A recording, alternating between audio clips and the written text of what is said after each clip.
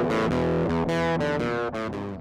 everybody, Howie Fischer from Fischer's Flies. Thanks for checking in.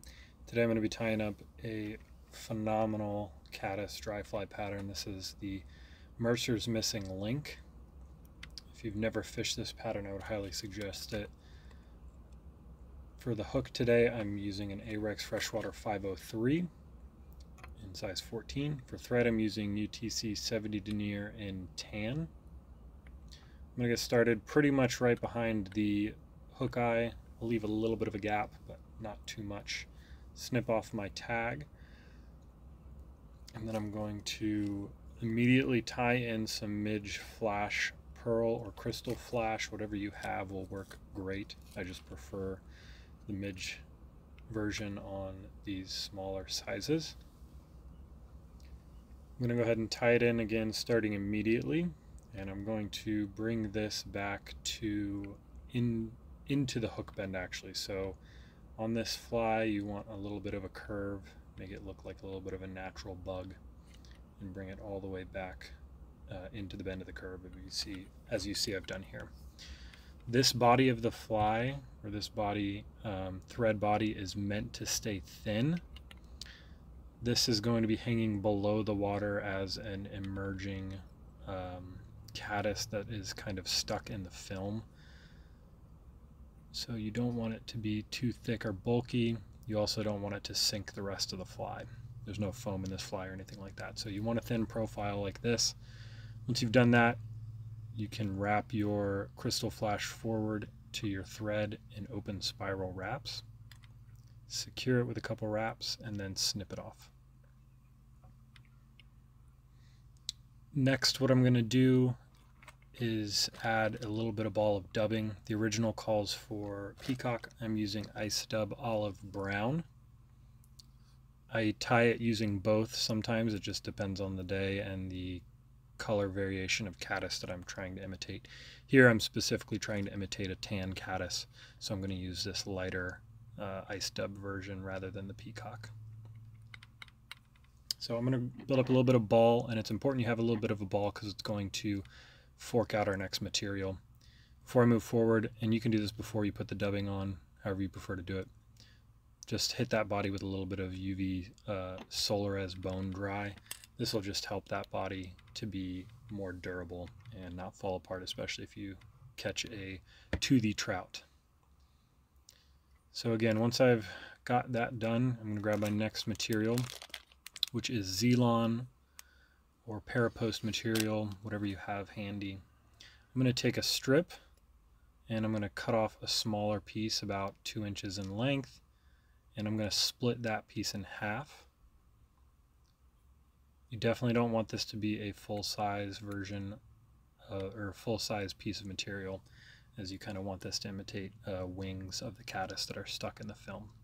So I'm going to wrap this on with one side facing backwards and then pull the other side backwards like so and wrap backwards over that so you get this split wing effect. Again, these are kind of going to be hanging on top of or in the water to imitate a crippled or emerging caddis that's stuck in the film. For the hackle here, I'm using Yardbird hackle from Flyfish Food in brown. This is a super long feather from this bird. I've been pretty impressed actually with this yardbird hackle. It's it's not up to whiting quality per se. It does come from whiting, um, but I was actually not expecting it to be as good as it is. So I'm going to go ahead and secure this on the near side of the hook, and I do want this to try and lay on the side of the hook. It will help the, the step of wrapping this hackle a little bit easier. And it is important to tie it in in this order. The next material is the wing material. I'm using Select Cow Elk from Nature's Spirit, and I'm using bleached here. Again, I'm going for a tan caddis. The bleached version is also obviously a lot easier to see than the natural in certain circumstances. So I'm going to go ahead and prepare my hair. I'm going to pull out all the fuzzies, the shorts, and the longs, and then I'm going to go ahead and throw it in my stacker. Once I have those tips where I want them, I'll pull it out. And I personally like my wing to be a little bit longer than the hook shank, just a tiny bit. I like, if you look at a real caddis, the wings are longer than the body. So I like to try and imitate that. So I'm going to pull my, my butts back as you saw me do there, and I'm going to take some wraps in front of, and this is to prop up that um, those butts. What I'm going to do next is I'm going to grab my hackle and I'm going to wrap it the opposite direction. So I'm wrapping it counterclockwise if you're looking down on the hook. And I'm going to give it three or four wraps before securing it right behind the eye. This is probably the most difficult, tricky part of this fly. The hackle piece can or thread can slip off of the eye sometimes. It's hard getting it to lay just right.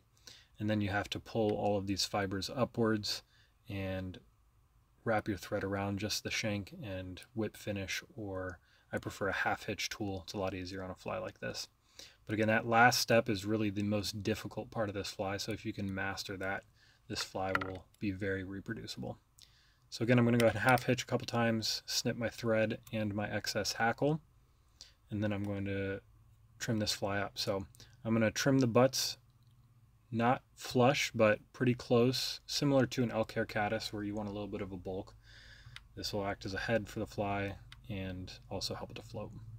You're then going to take these wings that you've created with the Zelon, bring it back, and snip them again just past the length of the fly. And once you've done that, you have your fly. I like to hit mine with a little bit of bone dry Solarez again, just added durability, make sure that nothing's going to come undone and then I'll hit it with that UV light. And there you have it. Again, this is the Mercer's Missing, Mercer's Missing Link. Phenomenal dry fly pattern, especially for brookies or fished as a double dry. If you've never tied them or fished them, definitely do so. You won't be disappointed. Time up, fish them, let me know what you think.